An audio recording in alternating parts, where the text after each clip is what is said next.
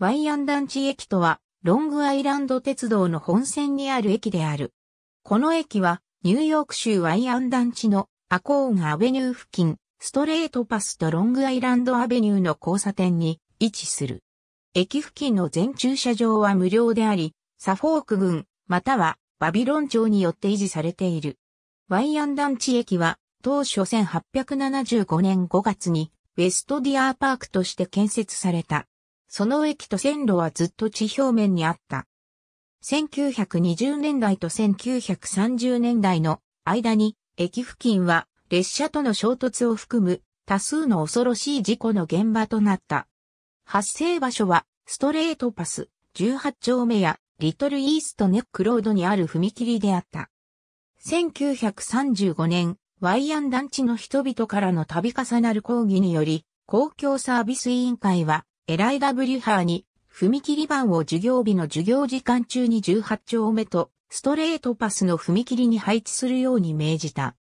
これは、 LIRR の北に住む学童が、南側の南20丁目とストレートパスの交差点に、ある校舎へ行く途中に安全に線路を横断できるようにするためであった。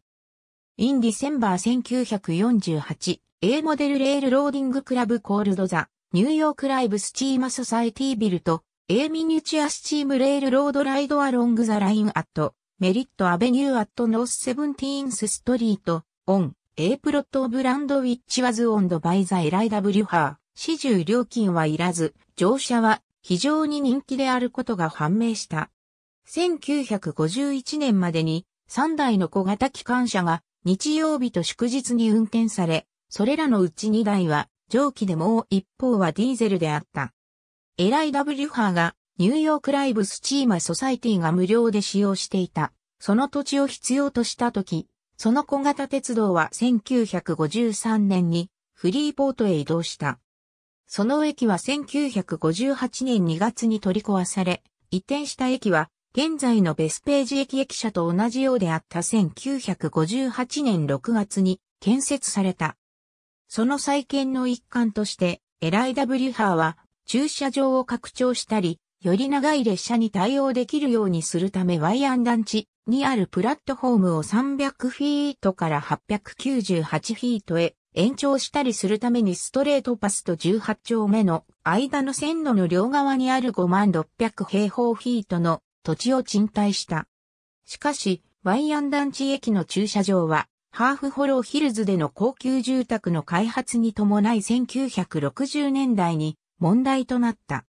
これらの上位中産階級の通勤者は、ハンティントンステーションにあるエライダ・ブリハーの停車場より近いため、ワイアン団地で乗車していた。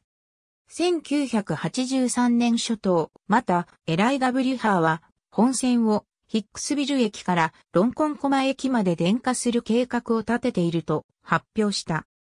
サフォーク郡を通った時の通勤時間を短縮しようとする試みの一環として、彼らは108年後にはワイアン団地での鉄道業務を廃止したかった。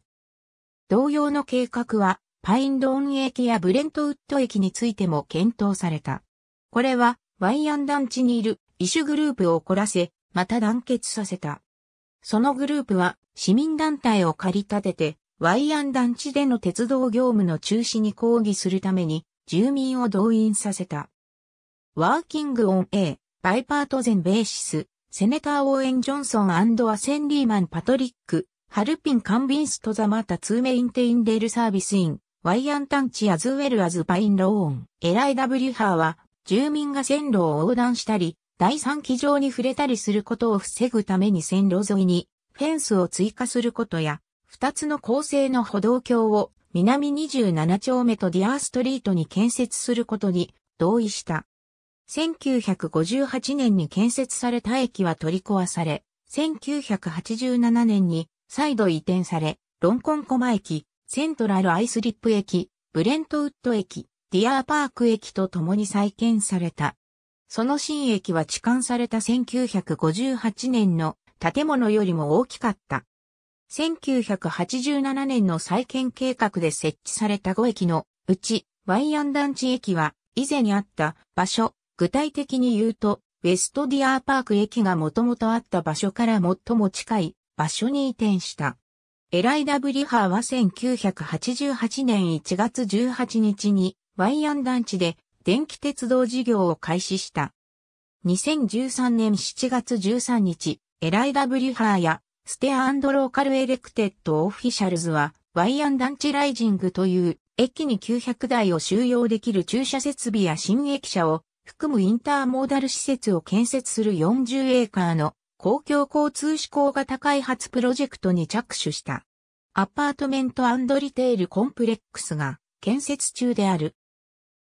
The Expanded LIW Her Station is also intended to support the increased ridership anti-supported when LIW Her Trains begin serving Grand Central Station in 2018この駅は単線軌道の北側に有効長12両の単式ホームを一面有する。ありがとうございます。